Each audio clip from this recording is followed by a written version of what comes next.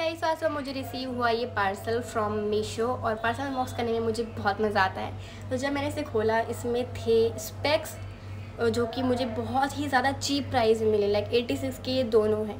दोनों eighty six के और क्या ही चाहिए। मुझे था शायद क्वालिटी इसकी अच्छी ना हो बट नई क्वालिटी भी बहुत सही थी। एक ब्लैक कलर का था और एक पिंक दोनों ही मुझे बहुत अच्छे लगे। इसको ट्राई कर लो जल्दी। और मैंने एक और भी स्पेक्स मंगाए थे जो कि मुझे याद ही नहीं था। इसका प्राइस है वन हंड्रेड एंड सिक्स दोनों ही बहुत ज़्यादा रीज़नेबल प्राइस है to try this out quality इसकी थोड़ी सी ज़्यादा बेटर थी बट दोनों ही बहुत अच्छी हैं ट्राई आउट